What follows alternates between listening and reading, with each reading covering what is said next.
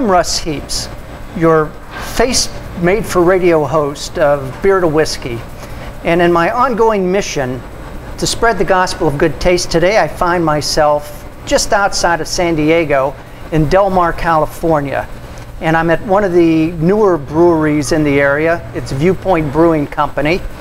Uh, before I introduce the, uh, my fellow panelists here and, and, we start talking about the beer, however, I've got a little uh, uh shameless self promotion to do, and that is you see the little thumb up down on the screen. If you like what you're seeing, click on that, please. If you want to see more videos, hang on until the end. You'll have an opportunity to click on some other videos. Or if you want to subscribe, the little round uh, Beer to Whiskey logo there, click on that and uh, and you'll be subscribed. It doesn't cost anything. New videos come out at noon every Thursday, East Coast time. Enough of the foreplay. Uh, I'm sitting here. I'm sitting here with the uh, with the head brewer and the owner of Viewpoint. We've got.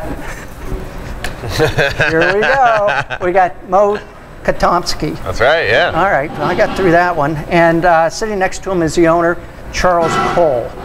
And guys, uh, thanks for the invite love being here, yeah. and it and I think we spoke earlier. It just so happens that uh, a buddy of mine and I were in here two weeks ago um, on a, another event that we were down here for, and happened to wander in here. Had some good good beer and smelled some very good food, although we didn't get to eat. So, Charles, tell me how did how did this get started? How did how did this brewery get going? So Viewpoint Brewing Company started off as Vigilante Brewing Company, actually. Uh, Vigilante was um, the concept that we're going to produce a brewery and a restaurant that is defending the integrity of the ingredients that we use, be it um, the grains in, in, in, the beer, or whether it's the or grains and hops in the beer, or whether it's um, you know the farm fresh ingredients that we get for our cuisine. Um, when I first was even conceptualizing the idea, I was working at a restaurant called Prep Kitchen Del Mar. And at that restaurant, I was bringing in my homebrew recipes for the staff and for everyone to try. And uh, the owner, um, Arturo, uh, came up to me and said, Listen, man, this, these beers are, are pretty solid, and we'd love uh, if you could brew these for, for our restaurant.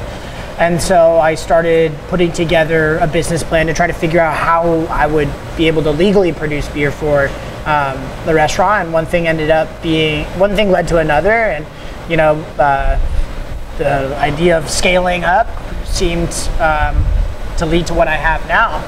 Originally it was like going to be a one barrel, and then all of a sudden you're like, okay, cool, I have to brew every day for the rest of my life. and uh, yes. we just started starting just pushing that ball forward and figuring out, okay, where do we need to go so that we can do everything that we want to do and also still have a weekend. Um, and I mean, long story short, we still don't get weekends, but we ended up with a 15 barrel brew house and a full service restaurant. Um, and unfortunately are not able to produce enough beer outside of this little establishment at this point to start distributing to the restaurant uh, that originally got me started. Um, however, they are now in the works of, of uh, building their own brewery, so it's kind of cool how that worked out. But um, we've been doing very, very well for ourselves here in this little location. We've been open about 10 months, and uh, God bless the fair and our location and yeah. our, our public support, and especially the neighborhood because they have been behind us every step of the way, and it's been really, really wonderful to see. And so, viewpoint. What, what's the what's the nature of oh, that? Okay, well that's a great, great story too. So, um, trademark infringement is a very popular uh, topic in a lot of breweries. When you have um, you know a little over 150 breweries in San Diego, is, is that right? It's about 150. Yeah, it's right. It's, it's going up every day. It's going up, right. but. Um, then spread that across the entire United States with every little pocket of, um, of, of, you know, towns having this kind of boom in the microbrewing industry, uh, and then try to think of a name for yourself that hasn't been taken. It's kind of tough to do. so we ended up uh, calling ourselves Vigilante, and then a brewery in the Midwest had a Vigilante IPA. And so I contacted them asking them if it would be okay to um, call myself Vigilante Brewing Company, and you know a lot of people are like, oh, but they have beer. You know, how is that fair? And then uh, the greatest analogy of all times was, uh, well, imagine if you called yourself Sculpin Brewing Company. And I was thinking, yeah, Ballast Point would probably have a problem with that one too. Right. So you know, no fighting, no hard feelings. Decided that's that's a great time to rebrand and change my name. Um, however, I couldn't think of a darn thing. So my sister-in-law was helping me come up with names, and she was taking a walk uh, down the river path here, and lo and behold, was hanging out at the viewpoint and thought, Viewpoint Brewing Company. We have the view, and most importantly, uh, it embodies our vision of defending the food and beer and, and really taking care of those ingredients by just re- reinventing the, the terminology so that viewpoint stands for our perspective on what we think beer and food should be and how they should be produced and to the level of quality and integrity that it should be produced. So we all come from fine dining backgrounds, so we all have the technique and ability to produce fine dining food. Brewing is a little bit on the um, on the newer side of things for us. Sure. However, we take that same ethos and that same sort of vow to make sure that the beers that we're producing are clean, high, you know, highly productive in, in the term of uh, what they're meant to do, such as our experiment A is not supposed to be bitter. It's supposed to be an easy drinking kind of lager-esque ale um, that a lot of our clientele is looking for, while also producing, you know, IPAs where you're really letting that hop shine through and Right. kind of reducing the amount of malt bill. Um, and not having the grain play so much of a part, especially on the West Coast, as you know. Uh, we like dry, bitter beer. So being able to play and find those balances. And lucky for us, we both have a lot of friends in the industry and that can help guide us and, and, and, and mentor us into becoming better brewers.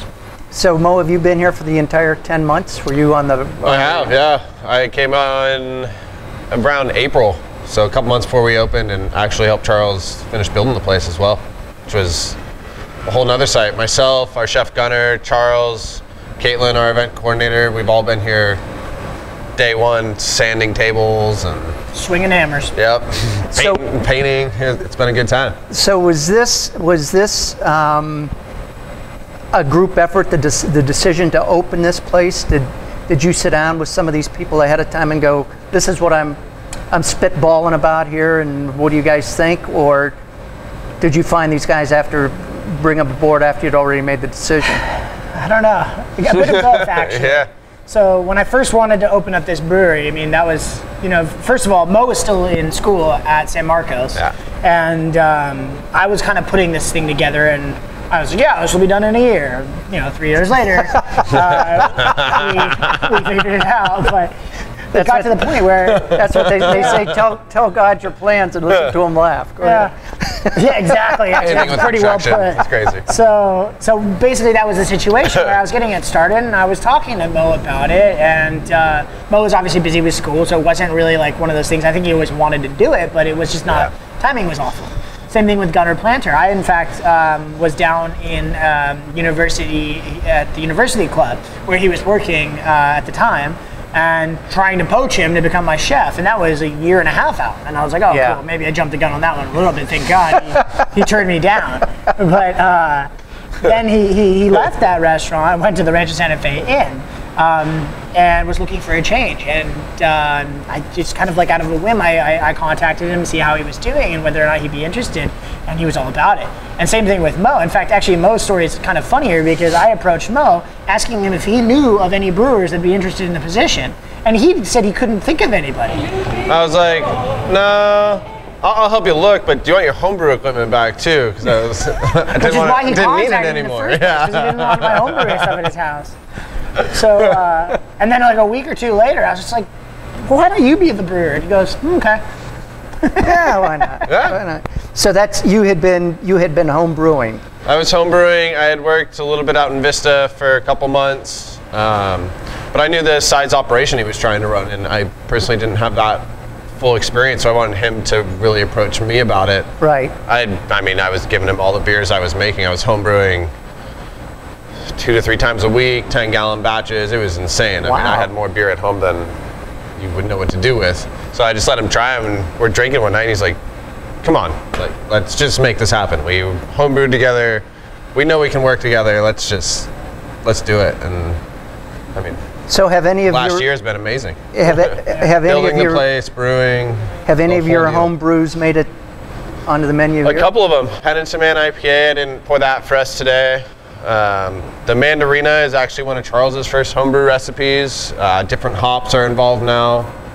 Um, not too many other of the homebrew recipes. I, I really like talking to this guy. I'll take, I'll bring some ideas. We'll talk about it. We'll we'll taste grains, and you know, we'll actually steep them every once in a while. Throw some hops in Right. there, and actually get flavor profiles. And it's amazing the changes that we make to each other's recipes, and they come out nice. It's also fun brewing separately. I mean, I went on vacation. I was, he was nice enough to let me go our first year in and he brewed a couple batches, which we're going to try today. The strawberry blonde. He brewed an IPA, and While you were gone, yeah, that's what we called it. funny enough, right? And they, is that right? It's Yeah. funny. They're just so different than my style of brewing, which is Yeah. amazing. It's it's it's unique to go to a brewery and really taste different styles of beers. Sure. Sometimes you get stuck in making like you're in your comfort zone, and people are like what you make, so you keep ma- making very similar style things. And we have such a different palate that I'm going to brew one way and he's going to brew another, and it's fun to collaborate. But when we both brew separately, that's when we really get some contrast, and you can reach, you can really reach more people. And somebody who says they don't like beer, they might like one of his and hate all, everything I've made, and I think it's beautiful. It's one of those. Uh, it really is. I mean, everyone's palate's different, so Right. And on that note, sorry for the plug, but your individual perspectives what creates our viewpoint. yeah. So that's why uh, that's why the name's also appropriate, but it's also what we do on a daily basis. Do you have uh, do you have some year rounders? Some things that you that you have on the stick all the time? We're less than a year in. My goal for the first six months was to really keep everything we opened with on top. and branch out. We've worked our way up to 16 different beers on top over the winter. I know we're going to decrease uh, just because we're not going to be able to keep with production for Right. summertime. Um, but there's probably six or seven I'd like to see stay on the menu, and then I'd really like to rotate some other stuff out. Really ask our clientele what they're looking for, if they miss anything. Um, I've wanted to not make our red rye IPA a lot, but we've gotten a lot of feedback from that. And I love the beer. I think I just drank too much of it personally when we first opened because Well, we had weren't that the in one we had on Mandarina and, and Experiment A for three months. yeah. So, yeah. I mean, We drank a bunch. eventually you want something fresh. I mean, it's delicious, and we've actually made a whiskey out of the beer with some friends that are opening a distillery as well. So, I mean, the talk is kind of nice. Actually, we should have should have brought a little sample of that. Yeah, yeah. Uh, we- You know, we should leave no stone unturned. we have a little bit in the back. Maybe we'll pull it out at the end. All right, Actually, we excellent. do, yeah. Excellent. Um, so, is there? You guys are, are you're trying to use local ingredients? Is that the is that the deal?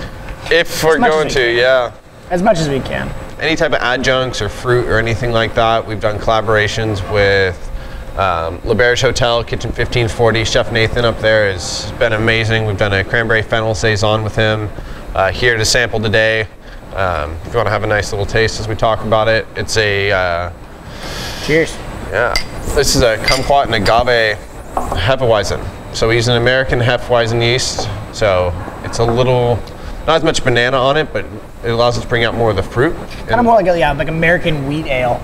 Is, is the, is that- the least offensive to the Germans that Yes, could possibly there you be, go. so. Yeah, I would. Yeah, I think that's a good description. Uh, but the kumquats they actually grew locally on their property as well. So they reduced it down, came over, we, we added it in. My first day back from vacation, actually, I walked into Charles Stoneham in there with Nathan, and I think it came out quite nice.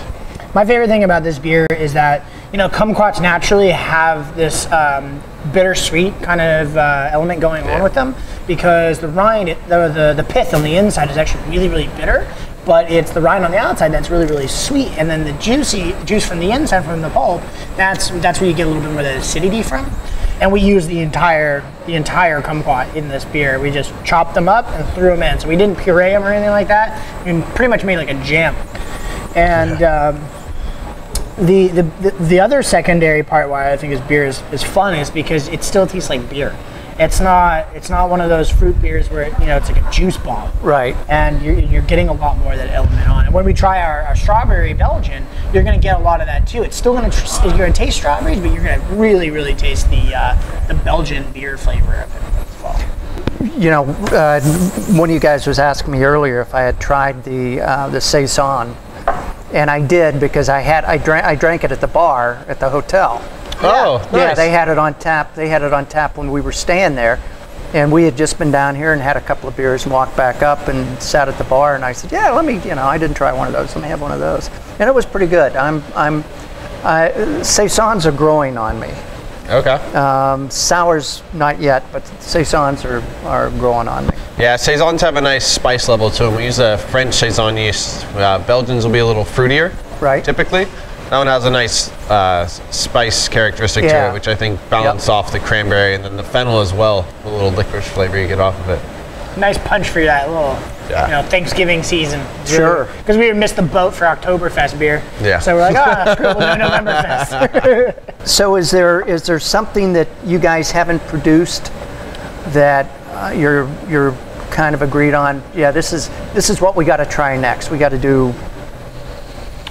How much time do you have? I really want to do a pilsner or a lager. I think a Czech style pilsner would be first, uh, just for fermentation time.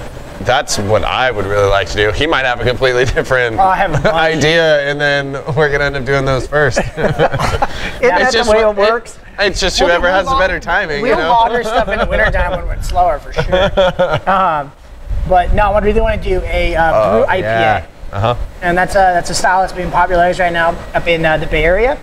Uh, and basically, what it is is it's a it's a very very dry uh, grain bill, so it's like just you know puckering dryness yeah. with uh, very little bittering hops, and then a crap load of um aromatic and uh, flavoring hops. So the idea of it is that you have like almost like a champagne uh, style beer, but it's still beer. It still actually has that whole kind of like taste to it, but with that element of uh, champagne, which I, I think is really, really cool. So if I'm back here in six months, I'm going to get to taste one of these things. You think? Either that or a lager. All right. well, see, there's. I think you'll get the brut IPA before then, but Yeah. Yeah, I'm itching to brew that one. yeah. Uh, last year we were it was a little hectic in here for our grand opening of Oh, I'm opening day of the race season, so it was hard to keep up. We started with seven beers, went down to three in two weeks. So Yeah. we were selling quite a bit of uh, beer in house, which is amazing. Yeah. I love that we're selling everything in house because we really get, as he said, we all have culinary backgrounds. So beer and food, we really work hard to make some fun pairings on our menu. So the uh, the kitchen, and as I mentioned earlier, when I was here a couple of weeks ago, we didn't we didn't sample the food because we were, had plans to go eat with a group, but. Um, the food looked really good and it smelled really good. Are you guys doing anything uh, in terms of uh, working the food menu around the beers, or is there is there any real thought put into that? Oh, there's definitely some Yeah. thought around the whole concept of that. I feel uh, Gunnar and myself will talk constantly, Charles included. Him and Gunnar have separate conversations. The three of us get together and we geek out on food and Right. beer and different flavors we can use and infuse. When we when we create recipes, we generally will taste them, taste the recipe with the beer, and make adjustments. Conscious or, or subconscious, it's, it's one of those things that we're eating and drinking at the same time. So that sort of element um, really helps you to kind of develop your your your, your sort of pairing, um, as well as just kind of uh, utilizing beer in in certain um, elements of our food. So, for example, we obviously this is the, the easiest one, but our mussel dish is done with a beer broth, right? Where we just basically steam them in beer. Okay. And then one step further, uh, we do a so we have a um, uh, a backyard burger. This is one of my favorite ones because Chef and I went back and forth on this for a long time This was a good one. we uh, we we were we were like figuring out like okay cool like we're gonna do a gourmet burger uh, the gourmet burger is going to be based on something else who is our favorite burger in town and you know like obviously you're talking about all these other gourmet burgers no like screw that stuff that's just that's not garbage but like it's it's far away from what we're trying to accomplish Sure. in and out Yes, everyone knows it. Every other state knows it.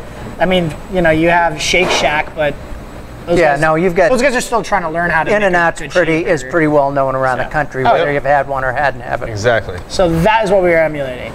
And also was Heston Blumenthal too. The way that he breaks down the burgers and talks about the different textures of the meat compared to the type of cheese that you use, the melting temperature, the texture of that cheese, and basically, in my mind, the perfect cheese is American cheese. It has the creamy flavor you're looking for and the texture of, of, of gooiness that you want without the stringiness of like melted cheddar, you know, where it like Yeah, draws yeah. like mozzarella where it has like that pizza effect. And so I was like, okay, cool, we're putting American cheese on the burger. Kraft singles, to be specific. Specifically Kraft that is what he wanted. Tell like, chef I'm put all, singles I'm all on about menu. craft beer, Oh, but no I'm way. also about Kraft singles. okay, it's in the name. It is good stuff. Yeah. So, so obviously, chef did not like that, and because everything we do is scratch. Yeah. And uh, he's like, "We're not putting Kraft singles on," and I was like, "Fine, make me a Kraft singles," and so he did. Um, researched a bunch of recipes on how to make American cheese, and then tweaked the flavor profiles of the American cheese. Uh, t- to what his liking was for the actual flavor composition, um, while still appeasing me and giving me the creamy texture and the bite that I was looking for out of that burger. And it is absolutely amazing. And we use beer in that, as well as another byproduct. You're obviously a pain in the ass to work for. Oh, Oh, 100%. hell yeah. That's why these guys make great stuff. That's why we love him. Come on. But it's not about it's not about it's about challenging ourselves to what we can Daily, do. yeah. Right. And making sure that when we work, we push ourselves to make things better and and, and raise the bar on ourselves. Because resting on your laurels is the first thing to, to, to Sure. starting to fail. Yep. And we refuse to do that. So the the solution was now you make your own cheese. Now we make our Oh, own yeah. cheese. And our burgers are one of our best selling items Yeah. by far. So Yep. it's not like it's an easy task to just make that much cheese to keep up with demand. So Kraft singles might have been a little easier for him in the long run. But that's But but he's got pride, so I don't have to worry but no way. Yeah, he'll you know- never let that happen. you know when I go in when I when I go into a joint and I order a grilled cheese sandwich, that's what I want. Yeah. I don't want some kind of Gouda, you know. So come in and get a grilled cheese with our beer cheese on it next time. Yeah, you know that's. you- I want. Yeah, I want the kind of grilled cheese that my mom made me when I was six years old. Yeah. That's what I want. So, yeah. And uh, yeah, so that's. I'm. I'm with you 100%, Charles. I'm with you 100%. I knew I wasn't crazy. yeah. Well, I don't know that my. Don't tell him that, I don't know that my my agreeing with you. Uh, uh, it's, let you escape that uh, thing. Okay, what are we doing next here? All right. Um, pick one. Let's go with the middle one. This is our mosaic. So it's a smash beer. You know what a smash beer is? No. It's a En- single enlighten me. malt and single hop. Okay. So we used all Maris otter, then we used Mosaic all the way through, bittering edition, uh, late edition, Whirlpool, and we also dry hop with 22 pounds in there. So you get big fruit off the nose. Um, mouthfeel is definitely there from the Maris otter. A little bit of breadiness to it. yeah. Uh, a little bit more than two row, which Yep. is a little cleaner, or, Pils- or a Pilsner malt, but So the cool thing about smash beers is that it, on the one side, yeah, it's very simple, right? But then on the other, it allows you to really acknowledge what certain ingredients are going to do to the beers and how they're going to do it to the beers, um, especially with the grain side of things. Because the grain side of things, you mash in. Um, you know, and depending on your temperature that you mash in at, it creates your dryness or your sweetness. Um, and then after the boil and after fermentation, you can get a solid read on like, boop, that's the flavor profile that you're going to be getting out of it.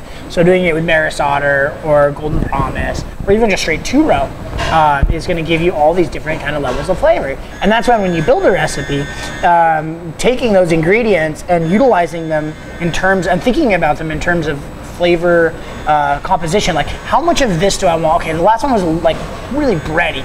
So I'm gonna cut that back. I'm gonna stick some two row in there, really clean it up, make it sort of like on the back burner as, as far as like my grain bill goes. Um, and it allows us to educate ourselves and at the same time educating guests without producing uh, a bad beer or, or, or something that's not pal- not Right. unpalatable. Right. Uh, it's still very drinkable, but it gives you a distinct flavor bill, which I love. It is. It is good. Um, but you're right. The bread, boy, it is. It is kind of bready. a little bit, yeah. Yeah. I mean, if and if people don't understand what a smash beer is, or they come in and they really don't, they're intimidated because they it's something they haven't tried. It's Right. it's very similar to a pale ale. Is a way I think of it. I think of it more as a session because of the way we hopped it. It is a hoppy pale for sure.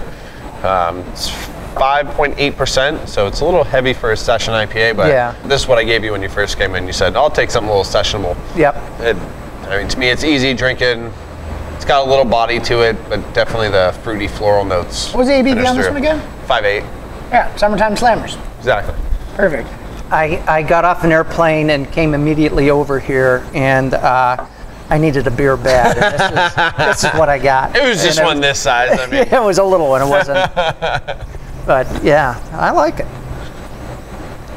One of my favorite beers that we ever uh, made was actually a Centennial Smash. Um, and it was not a crowd favorite, at all. uh, which, was a bummer. which, yeah, a really big. To say the least, I love that beer too, man. It was just pine forward. And but it was it was that old it was Mm. that old school kind of ju- I mean Centennial right it's Yeah. pine and God I wish people would brew more of those beers everything now is so fruit forward and I, I mean it's not bad like, I love it but now just like everything else I'm drinking way too much of it and I want to go back to my piney beers I miss them So what else we got here, guys?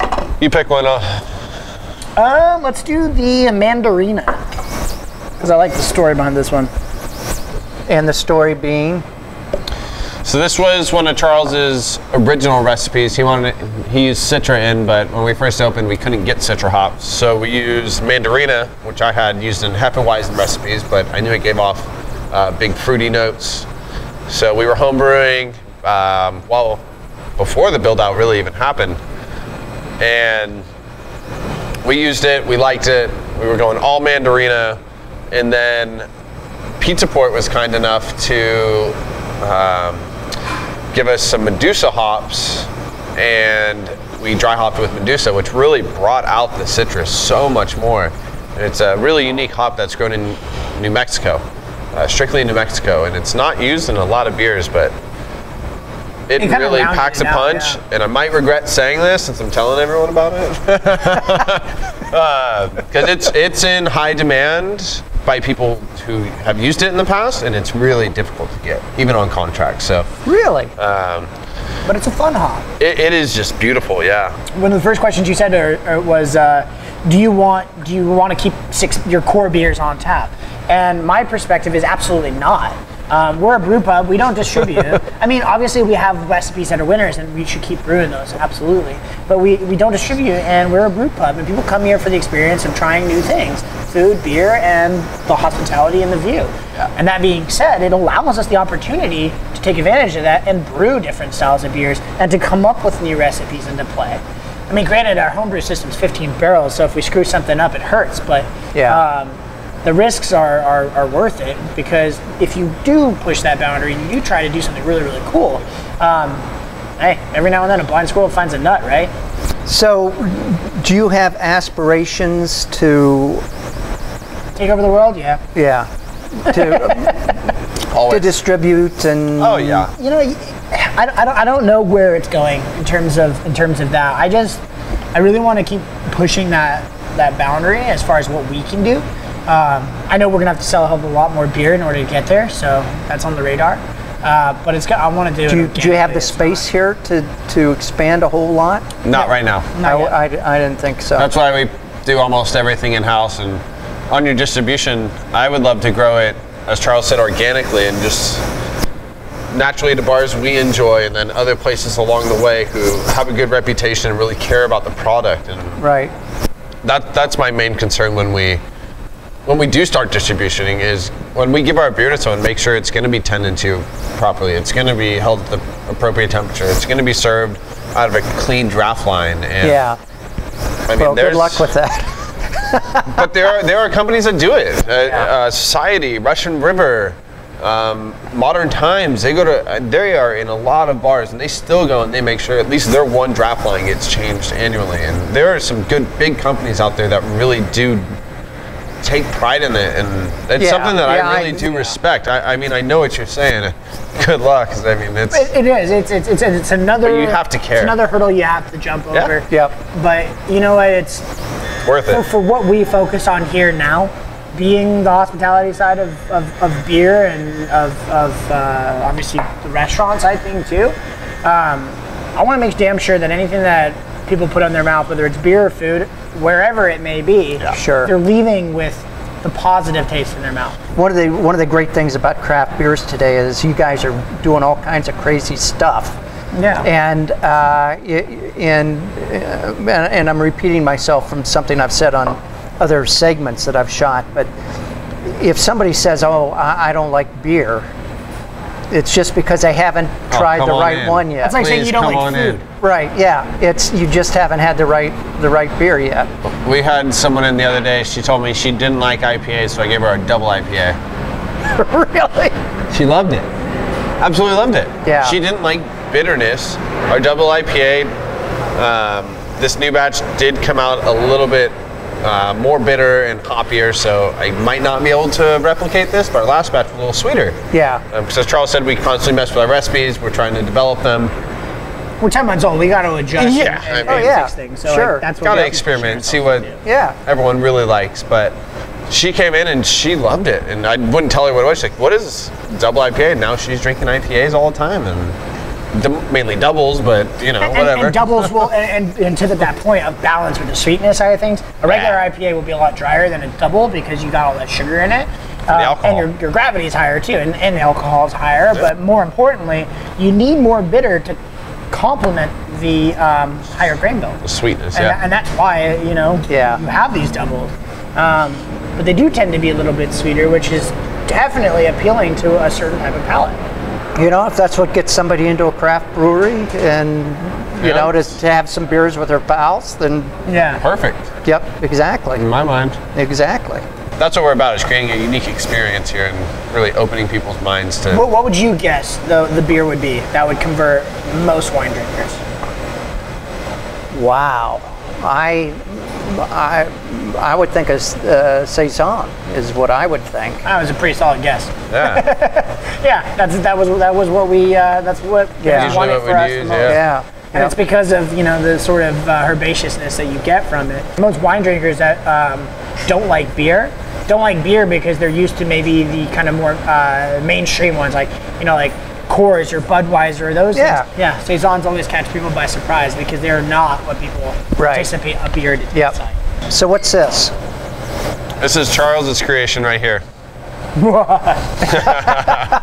Cheers. This is a strawberry Belgian blonde. We use an Oh, artisanal okay. yeast on it, so it's not a, a typical Belgian yeast that you find all around. And I had some of this earlier. I really like this. It's we're kegging it off today actually, so it's as fresh as you can get it. Uh, perfect for summertime, I think, around 6.2 percent.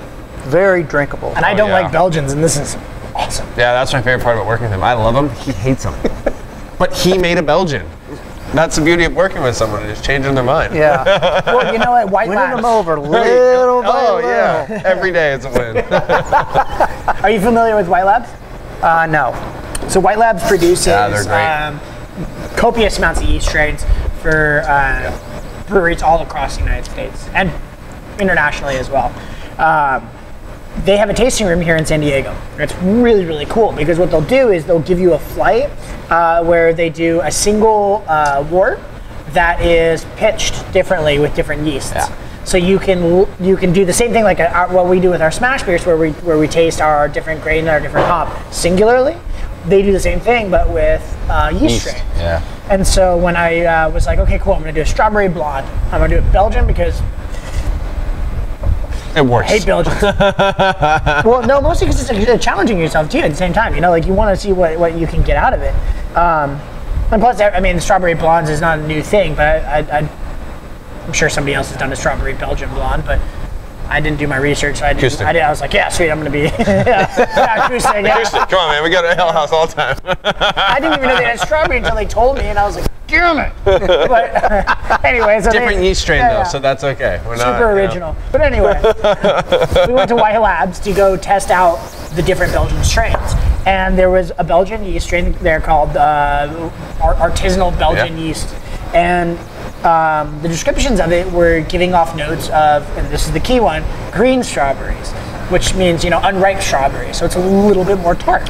Um, and I was like, sick. I'm gonna have both types of strawberries in here, green strawberries and ripe strawberries. It's a little tart on the back end. And so yeah, and then you get that little tartness on the back end. Um, and so yeah, so that was the fun little experiment part. I took Cody and Rule, our, our two assistant brewers, um, down to White Labs, and we tasted all these different yeast strains, and uh, we we picked this one because we figured this would shine, um, and I think it did. I think it did very well. I think it's great. We got to brew Oh, it I- four more I times with different yeast, and then we'll know for sure. But uh, yeah, it's a fun one. It's This that one I would recreate for sure. I, I'd like to do this seasonally. Just make sure you cold crash it before you put the strawberries in, though. Whatever that means. I'll hang my head. so yeah, we can go into that. That's a fun story. I love. This is my favorite. The video makes it even better. But I can't show you. yeah, um, I was adding strawberries and I did not cold crash it to a low enough temperature, so it was still actively fermenting. Poured in five quarts of strawberries. I went to pour in another five quarts of strawberries, and I just saw CO2 rushing out, and I just saw a geyser of beer, and, and it hit that ceiling. It was out of this tank, and it hit that hit the ceiling over there. I was sitting up there, and 5:30 on a Friday, full service, spraying everyone right here. like being beer. at a, like being at a Gallagher concert. Oh, my man, God, it yeah. was It was so exactly like cool that. and not cool at the same time. I got see, seen in Beerfest where he falls into the uh, Yeah. vat. Uh, yeah, I, li- I was soaked. It was. I had to go change. It was Ah. fun, but I'll never do that again. And yes, we learned how to add fruit to beers because it is not the same as home brewing. I will just let everyone out there know who's watching. and that's the fun of working with Charles uh, every day. Well, there has to be some It's a new positive adventure. to it. From Oh know, man, every every day has been amazing. I couldn't have asked for a better place to work. You really, and to go back to us all building the place, we really do care about it because we put our sweat and blood, most of us, yeah. literal blood, like into this place, and it's it, it feels like home. Let's just touch on the the the way the logo. Ah, Oh yeah, yeah, talk about playful, right? Yeah, and it's and it's I'm gonna look into the camera even though he told me not yeah to. go yeah you can So- do it now. This is uh, so Viewpoint Brewing. The logo is actually an ambigram. So the way that it works, an ambigram means that it reads one way and you flip it over, it reads another way. So for us, it's Viewpoint Brewing Co. And then it says "Good beer for all." So you'll probably have to look on the internet for that one because you're gonna have to Zoom stare in. at it for a while. Um, however, we also have this one that we haven't gotten too much flack for. But uh, I know. this is a rendition of, of the Princess and the Toad. So, it, it- perspective and, and your viewpoint and how you look at things will will ultimately change. Uh, I'd like to see some hats made with that patches that you can flip upside down. So you know, let us know if you'd like one. That's a uh, yeah. The hats. That's a new idea we've been coming out with. We can get uh, Velcro patches, so you can put it either way. You know, if you're happy or See, sad, that's a great frog, idea. toad, whatever comes next. I, I don't even know. That's- He'll surprise us one day. um, So what's this? This is our midnight mocha. This is an imperial stout, 10.1 percent. I think I I tasted this when I was here a couple of weeks ago, but I didn't We drink might have had it on nitro. Unfortunately, we're out of the nitro kegs. I think that's I think uh, that was the It deal. went pretty quick on nitro. That was awesome to see. Right now we have our brown on nitro, but this beer was our assistant brewer, one of his first recipes. that guy that's sneaking in the back. Yeah, this, this guy.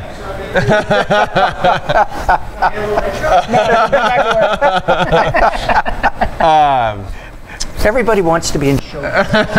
he's, he's gonna drop in here anyways.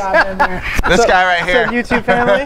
Uh, this was one of his first recipes, so I uh, challenged him to make us an imperial stout.